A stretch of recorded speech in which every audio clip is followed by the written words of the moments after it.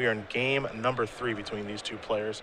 Uh, as far as Brad's list is concerned, yeah, no spice here. I don't know. I was wondering, a little curious if he'd have a card like Dig Through Time in his list, but he does not. So looks like we're in game number three here. Briksza's going to cast a Stoneforge Mystic and go a Searchin'. Looks like Nelson may have just tried to resolve something big and failed. Doesn't look like he has a lot of cards in his hand.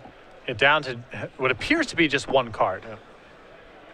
So perhaps a counter war to take place. Batterskull going to be added to the grip. Nelson will draw cards. Copy of Emrakul, so that explains it. There's a Ponder.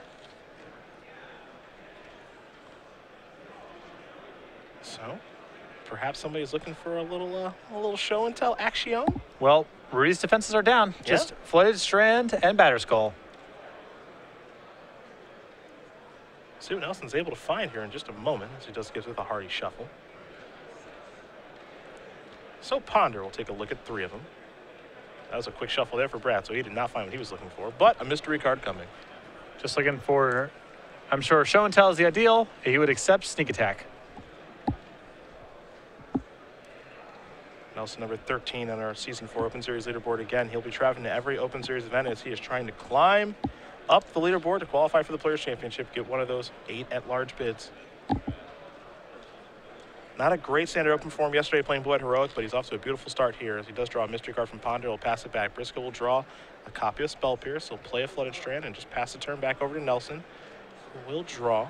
And Spell Pierce is an enormous draw here for Rudy because Brad is not in a position to play over the top of it. Mm-hmm. If he does draw show and tell, I suppose he can tap three, blow up the City of Traders if he's aware of it. But sneak attack is going to be very challenging to resolve, and I think Karakas might seal the deal. That just made it a lot harder as Briksza will play that one. Here's a ponder. So now if you're Nelson, you have to find actual sneak attack. Show and tell's not going to get the job done anymore.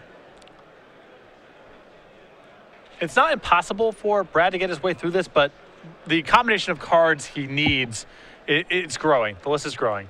Nelson going to keep with ponder. Game certainly just got a lot harder, that's for sure. Brainstorm. Good to go. Take a look at three of them. Two, of course, will have to go back.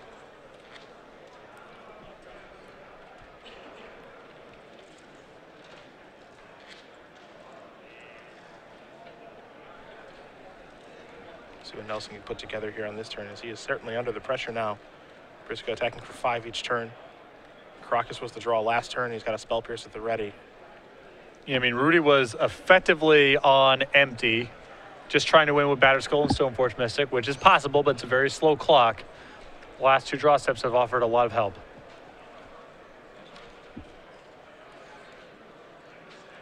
Tough brainstorm resolve here. Trying to figure out a way out of this. And you could tell. Nelson not too sure what to do. He did find a sneak attack, so that's mighty important.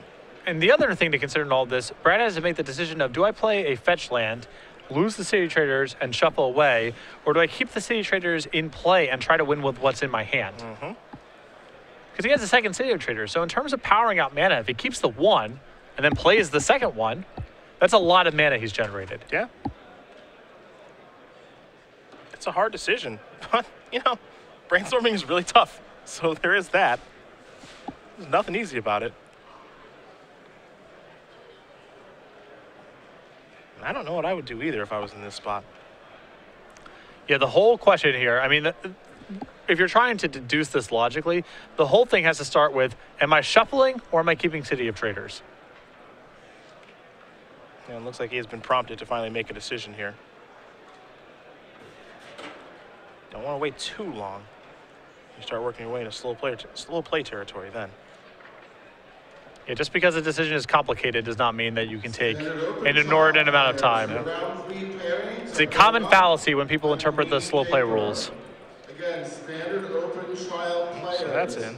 Do round three pairing. Nelson will pass the turn back. Briksza will draw a card. Didn't get a great look, but here's an attack for five. Going to gain some life, and Nelson going to take some damage. Looks like maybe a true nemesis. Yeah, Pressuring up.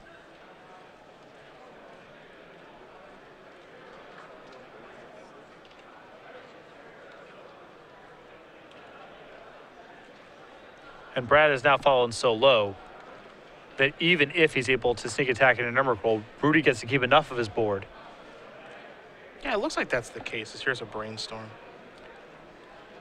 I mean, he can just he can throw away just five land Stoneforge Mystic can be done with it. Yeah, that's going to do it. Rudy Briksza going to win this match over Brad Nelson. Two games to one. He moves on to 7 0, and it looks like he has the opportunity to double draw here with Very- his Jeskai Stoneblade deck. Very exciting, given that Rudy is brewing this weekend. I mean, uh, you know, it's